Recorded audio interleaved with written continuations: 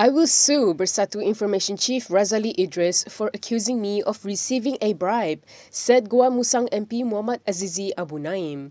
Speaking to Malaysiakini, Azizi said the accusation that he received inducement in exchange for declaring support for Prime Minister Anwar Ibrahim amounted to slander.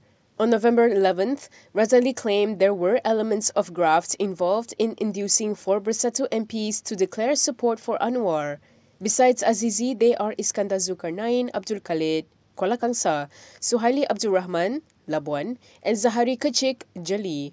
Meanwhile, Kelantan Bersatu Information Chief Bahari Muhammad Noor claimed Azizi confided that a political broker was making generous monetary offers and other benefits for opposition MPs who declared support for Anwar.